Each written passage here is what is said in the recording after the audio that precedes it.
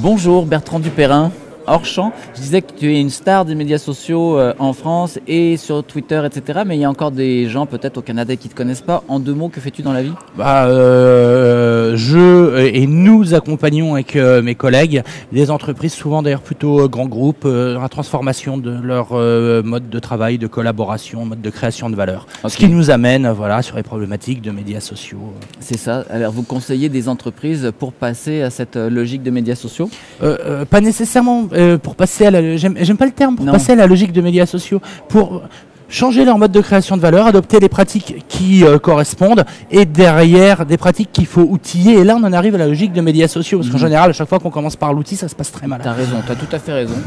Et j'abonde dans ton sens. Mais alors, moi, ce qui m'intéressait aujourd'hui, c'est de regarder un petit peu. Euh, tu es venu prononcer une conférence, pas sur la transparence du tout. Pas du tout. Mais tant pis, les gens iront voir ta conférence. et mais là, justement, sur cet esprit de, cette idée de transparence, du fait que les médias en général et les médias sociaux en particulier nous amènent à devenir plus transparents et qu'il y a donc là un mouvement, mais il y a en même temps des limites. Mm. Et que penses-tu de ça? Quel est ton point de vue? Est-ce que tu as des histoires à me raconter là-dessus? Alors sur la euh, sur la transparence, voilà, c'est bon, c'est vrai, c'est un des grands mythes du moment, des grands trucs transparents tout. Euh, euh, je pense qu'il faut pas s'en emporter non plus. Euh, je, parlerai davantage d'honnêteté que de transparence. Euh, faut, il faut être honnête, il faut sortir. On n'est pas dans, on n'est pas dans un monde de bisounours. Tout ne doit pas nécessairement se savoir. Mhm. Euh, ce qui n'empêche qu'on n'est pas obligé de mentir en permanence non plus. Exact. Donc, euh, bah, ça revient à une, à une, discussion qui a eu lieu hier soir au, au, au et puis au Yulbiz préparatoire. Ouais, où, voilà, où voilà, c'est oui un monde plus transparent, mais on va, il faut pas croire qu'on va tomber dans un dans un monde où tout va se dire et tout doit se savoir davantage dans l'honnêteté, la, euh, euh, la, confiance, mais on n'a pas besoin et, euh, de tout savoir et ça peut même être plus dangereux qu'autre chose. D'accord, il reste que la communication traditionnelle, souvent, c'est faire un beau packaging et donc c'est créer une certaine apparence autour d'une entreprise, d'une marque, d'un produit, etc.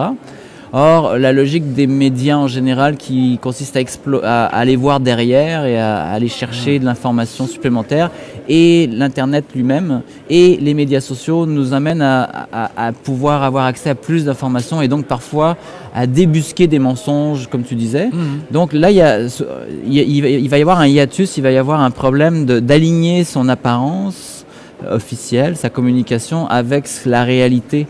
Euh, donc, euh, est-ce que c'est pas ça la transparence, c'est de se rapprocher de, Voilà, moi je dirais plus plutôt que de tout dire, je dirais être cohérent. Être cohérent, d'accord. Davantage être cohérent, et on le voit souvent, moi je suis davantage sur des problématiques internes, mhm.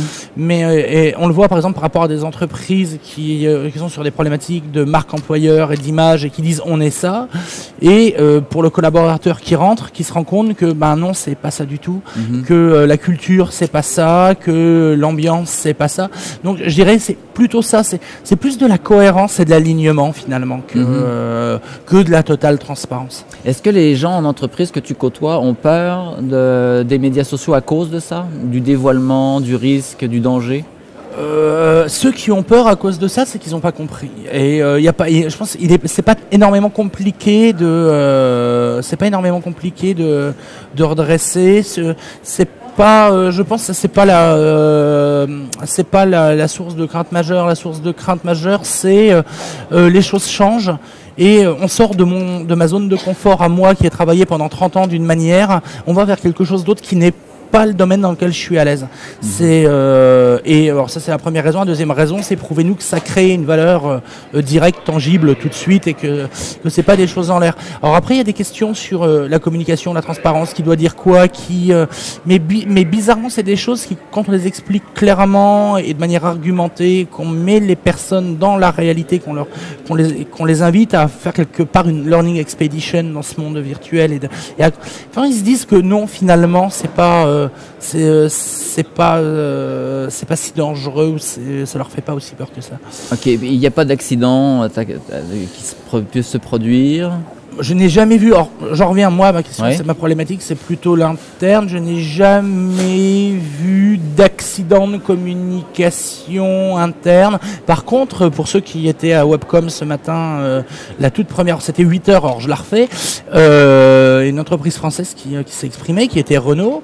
On parlait justement des choses qui se sont passées chez Renault dernièrement. euh, et, euh, et la On a eu Michel ici en entrevue. Voilà, et donc ouais. Michel, et, et Michel en parlait, il disait bah non finalement euh, peut-être que la transparence c'est voilà c'est de dire oui c'est passé ça, oui voilà, oui euh, et puis on ne sait pas encore, on n'a pas tiré toutes les conclusions, mais au moins on ne cache pas ce qui s'est passé. La non transparence, le mode avant ça aurait été il ne se passait rien, no comment. Là c'est même reconnaître eh ben, moi, à titre personnel, ok, il y a une erreur de commise. On essaie de trouver où elle s'est passée. Euh, on ne sait pas encore. Et on, vous et on vous tient informé. Mais au moins, ça, c'est déjà. Et, euh, et, et on voit les réactions qu'ils peuvent avoir derrière, qui sont finalement beaucoup plus compréhensives Mhm. de la part des collaborateurs qui disent Mais à partir du moment où on reconnaît quelque chose et où on ne nous dit pas euh, ça n'est pas possible, alors que tout le monde l'a vu et que tout le monde le sait, d'un seul coup, bizarrement, ça contribue même à recréer un climat de confiance. Ça me, fait rire, ça me fait rire ce que tu dis parce que en fait euh, moi je suis français d'origine, ça Mm. s'entend, j'ai un gros accent comme toi. Ouais. Et puis euh, Et tout le monde nous le dit autour. c'est ça. Et puis euh, ça fait 23 ans que je suis installé au, au Québec et en 88, 89 quand je me suis installé ici, c'était l'un des grands plaisirs que j'ai eu, c'est d'être capable de tomber la veste comme on dit, puis d'être moi-même en toute transparence d'une Mm. certaine façon. Puis quand tu fais une erreur, de dire bah oui j'ai fait une erreur, je m'excuse, je vais la réparer. Qu'est-ce que je peux faire pour la réparer? Puis je vais apprendre de mon erreur au lieu de dire non non j'ai pas fait d'erreur. Mais, mais alors là, tu m'amènes- là, et là, tu m'amènes là par contre un sujet, c'est vrai une réflexion intéressante, qui on dit la transparence, on fait poser, on fait peser le poids de la transparence sur les communicants et les acteurs en disant soyez transparents. Mhm. Euh, il y a une autre responsabilité qu'une responsabilité globale autour, qui est la responsabilité de la, toléran- de la tolérance de l'erreur et du droit à l'erreur. Mhm. Et on n'aidera pas les gens à être transparents si à chaque fois qu'ils reconnaissent une erreur, c'est pour prendre une paire de claques. Exact. Voilà, c'est, euh, je pense, que la question de la transparence. On ne, on ne peut pas, nous, en tant que, parce qu'on est euh, public à l'extérieur et dans l'entreprise, on est collaborateur, donc euh, on est en exigence d'un côté de transparence, mais on a notre responsabilité parce que si on demande aux autres d'être transparents et qu'ils le sont et que c'est pour que nous on leur mette des, des baffes, Mhm. quelque part, on a notre part de responsabilité dans l'opacité. Euh, il y a peut-être, il y a des efforts à faire des deux côtés. Parfait. Bah écoute, ça me semble être une belle conclusion. Si Mhm. tu vois rien d'autre de particulier à ajouter. Tran- Non, ça transparence, tu rentres quand à Paris Euh, demain soir, vol à Air France 347. Voilà, donc euh, Siège 11L, si euh, d'autres Français sont dans l'avion et qui veulent parler de médias sociaux, venez me voir siège 11L, vol 740. alors, j'espère vol qu'en tout- 347 Air France demain soir. en toute transparence, tu verras ton checking dans le vol. de la- Mais nécessairement, obligatoirement. ok. Merci Bertrand. Bah, à- au plaisir de te revoir à Montréal Bah, ou bah, à la prochaine question. Bye. Ciao.